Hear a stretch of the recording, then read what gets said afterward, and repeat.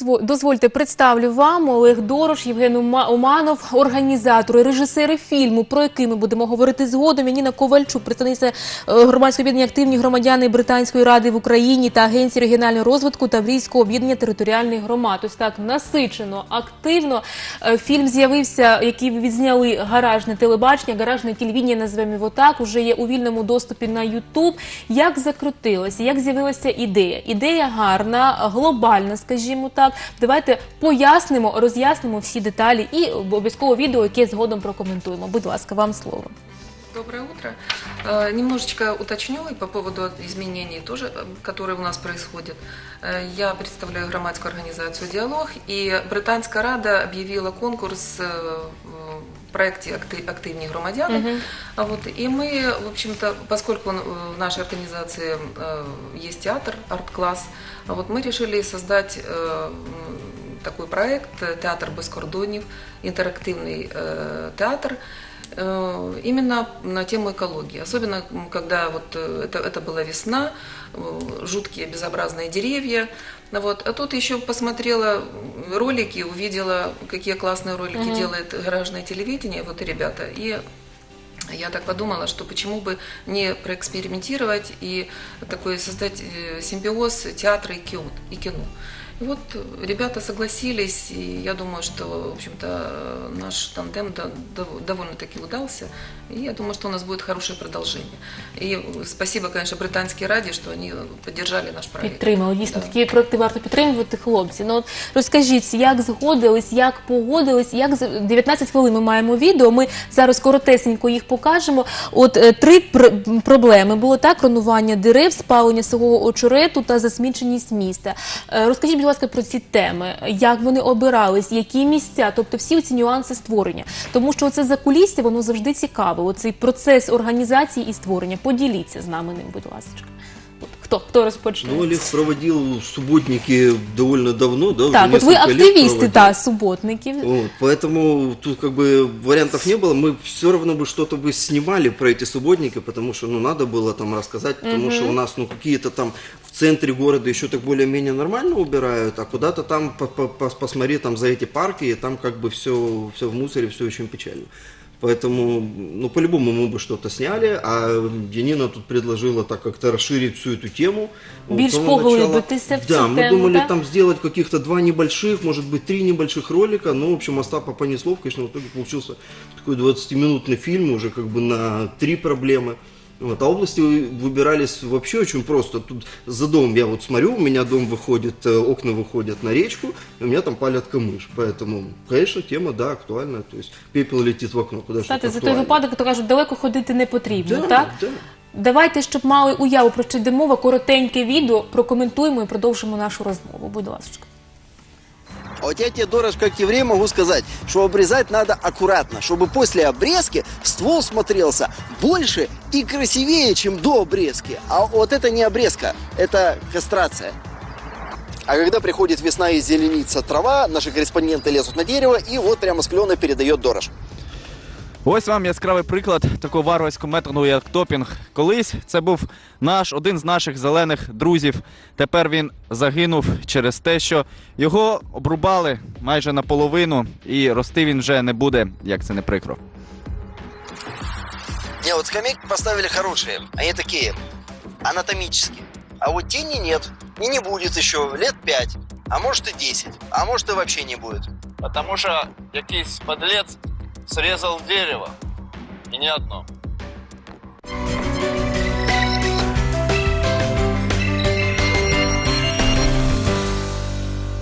Ну, не без гумору, так? Додали трішечки гумору, тому що як без нього от підняли таку проблему, одну із е, трьох. А що от далі? От на що ви розраховуєте? От яку зміну чекаєте? Які хто має відреагувати? Безумовно, що суспільство, що люди вони відреагують. А ще, от, будь ласка. Ну, Ой, сложно сказать, конечно. Конечно, хочется, чтобы что-то изменилось. У нас была экспертная громадская рада при Міському виконкоме. Э, Об этом тоже говорили. Вот. Но, конечно, хочется, чтобы э, кто-то в в том числе и понес наказание за то, что вот так варварски относятся к деревьям. Я, кстати, посмотрела, у вас тоже они обрезаны. Вот сейчас шла, м, когда заходила в студию, такая же самая история. Тобто треба якось з цим боротися з обрізанням дерев. Ой, що ви хотіли сказати? Скажіть. Ну, на, са- на самом деле, проблема с обрезанием деревьев уже довольно в городе раскручена, то есть об этом уже бьют э, на каждом углу, да. И, и даже, э, насколько мне известно, уже э, и как-то этим депутаты обеспокоились, и городской голова, который, да, мораторий наложил, правда, уже срок моратория истек, и деревья, как нам известно, продолжают дальше экранировать, ну, нач- начали дальше экрани- ну, экранировать, продолжать. Вот. Но, на- по крайней мере, депутаты вот, городские, они уже как бы настроены в- этом ключе, что это уродует город и как бы будут стараться. Я надеюсь, что что-то изменится. Мгм. Е, зі- Читала коментарі е, деяких користувачів ваше відео, що так, з клонуванням дерев погоджуються, а от спалення свого очерету, що це не є такою глобальною проблемою. От, е, начебто, чому підняли саме її? От прокоментуйте, будь ласка, це. Що ви скажете? Ну, знаете, это есть такое поверье. Я вот на водопое вырос, и там очень много у нас камышей было. И вот какой такой легенда ходит, что вот если спалишь камыш, вот следующий пойдет быстрее. На самом деле не пойдет. Вот у нас есть такой э, большой человек в плане там всяких экологических э, дел, который, да, Матвеевский лес, подписан, и он выставлял фотографии, что получается после того, как э, спаливают камыш. Там огромное количество животных погибает. Э, ну, это жутко, это ужасно, так не должно быть. Отож, у нас є іще одне відео. З цього е, приводу давайте переглянемо і прокоментуємо. Расскажи вот эту вот историю про то, почему вот ты слышал вот эту версию, почему люди палят камыш вообще. совершенно идиотская история. Э, Есть, значит, такое поверье. Ну, наверное, им это хочется сделать, потому что хочется что-нибудь разрушить. Хочется как-то себя утвердить и показать, что вот мы можем решать что-то, да, почувствовать себя немножечко Богом. Э, Но они это оправдывают тем, что если мы сейчас сожжем камыш, то, значит, следующий камыш вырастет быстрее, и он зазеленится лучше, станет выше, и, в общем-то, все будет спасено. Но это, конечно, совершенно идиотская идея, потому что когда он сгорает, то, напротив, нарушается вся экосистема. А ты представляешь, что это все, все передается из поколения в поколение. И следующее поколение думает, что вот надо сжигать камыш. И это ужасно. Тут бы камыши, если все попалили, то вот это вот прекрасные акапеллы лягушачьи здесь бы не было. И была бы такая навязчивая тишина, нарушаемая звуком шин с дороги. А так, здорово.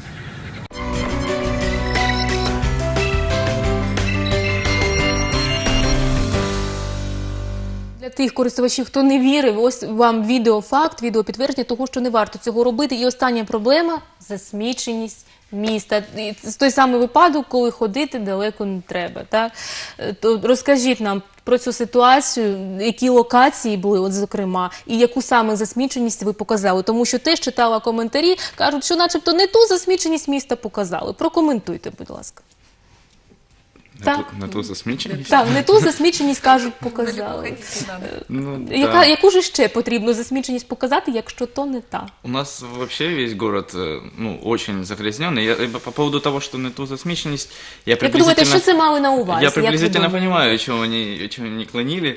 Э, ну, дес- на самом деле, ту засмеченность, которую показать, она и так у нас под носом. У нас, э, Не про город- екологію мова йде, Да, так? да, І- г- так. Город э, и так очень э, замусорен, И это и- известно и наглядно видно. А вот по поводу локации, которая, где мы, например, убирали, мы убирали э, до этого еще в нескольких местах. Вот, на самом деле мы выбирали специально такие места, места отдыха, где э, собираются горожане. Ну, и, моз- возможно, про которые ну, не сильно много знают. Вот, например, на Тимводе дуб, вот Умка как раз там рядом живет, он согласился нам помочь, потому что они там с семьей отдыхают. И все время, когда убирали, там было ну, более-менее чисто, и вот в определенный момент э, некоторые нерадивые предприниматели свозили туда мусор и, и испортили таким образом вот как, как само место отдыха. А вот именно в фильме, которое место показано, это наш дендропарк, ну, парк Дружба. Вот, про него тоже мало кто вообще знает, и, и на самом деле зря, потому что это уникальное место в городе, в нем растет множе, большинство вид, много видов редкостных растений. вот, и его понемножку уничтожают. И, возможно, мы хотели бы, как, почему и выбрали именно эс- это место, чтобы привлечь к нему внимание, что в городе есть такие уникальные места, которые бы привести в порядок, и это можно было сделать изюминкой туристической Николаева, водить туда туристов. Ну, как, в принципе, раньше и было в советское время, он был очень популярным парком, туда водили маленьких деток со школы, проводили экскурсии, вот, ну, со временем в этом месте забыли. І дехто зараз про нього і не знає. навіть, Да, и некоторые про него даже не знают, да. И вот, получается, э, там есть дачный кооператив рядом, и, собственно, дачники, ну, мне так кажется, дачники, проследить, кто это туда свозит мусор, это целенаправленно, это, конечно, проблематично, но там, среди того мусора, что мы очистили, там большинство это ну, быто- бытовой обычный мусор, то есть они буквально просто скидывают, потому что поблизости, ну, наверное, нет каких-то таких. выкинуть. Да, да, им просто выгодно выкинуть и все, и не заморачиваться над этим. И таким образом вот это вот место превратилось вот в большую свалку. Ну, нас там є- как могли настолько убрали. Відео давайте подивимось, як це було.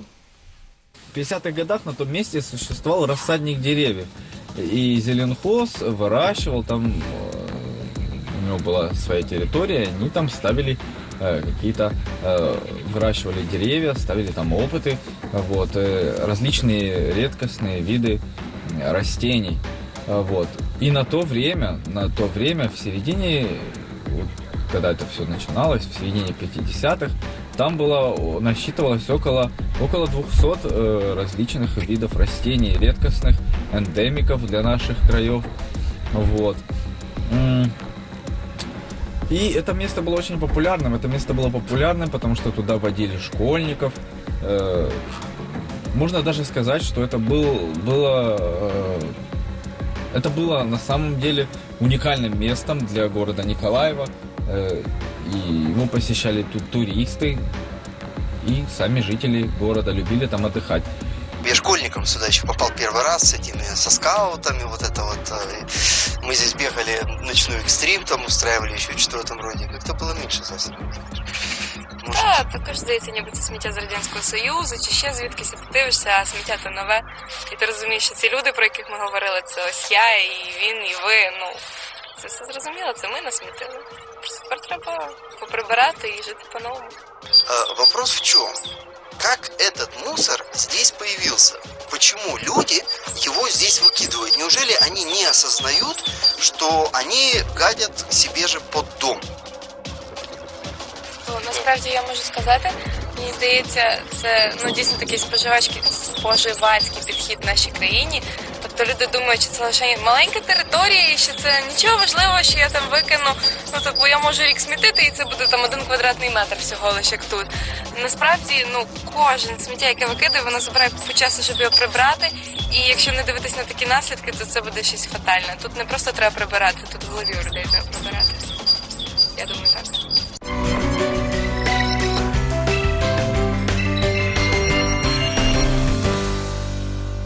жаль, от реалії нашого життя. Усвідомлювати це мало, варто ще щось робити дуже коротесенько, дуже мало часу. Будь- Будь ласка, ваш коментар.